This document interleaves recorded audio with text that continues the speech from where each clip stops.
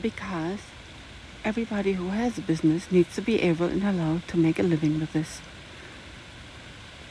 There is structure. So you need a permit to open a store. So the government has to look. In Germany, the government has to look whether there is potential to actually be fructiferous with your store that people might actually go buy because maybe there's another store right down the street. And people don't need more of that what is you offer in that particular neighborhood.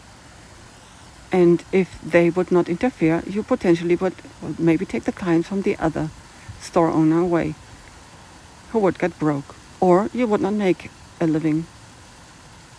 So you would fail or you both would fail as the customer split so that type of regulations is not precisely a rule, it's just organizing. I think this is very, very useful. And of course, quality control is very, very important. As you are in a higher vibration, coming closer to God in the Hawkins scale, you may yourself measure. You are willing, no, you want to, you wish to give good quality out. You would never conform on giving out shit.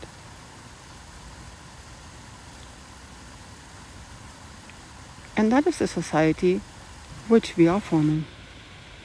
But people are real people, real humans, true humans, in every single sense of the way. Because this is the kind of little ingredient, the piece which had been missing. The piece of humanitarian. Humanitarianism, hmm, that sounds like charity, that's not what I mean. But yes, humanitarianism. Being humans and true mensch with yourself and with your peers and with your spouse and with your children and with your co-workers and with your brothers and your sisters.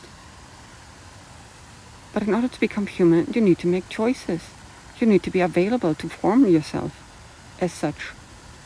You cannot be a little stupid icky ticky ticky who just oh say yes sir, yes sir, yes sir. Out of whatever reason that is, lazy, flojera, or I don't know, what else could there be? Or just stupidity? Don't know. You must formulate yourself. Well, hang in there. Do this, do that, but what is your dream? So in our society, we supporting each other. Yeah, we're fighting the evil of right now. That's what we're doing. The exploiters, the bullshits, dumb shits and bullshitters. That's what we're doing.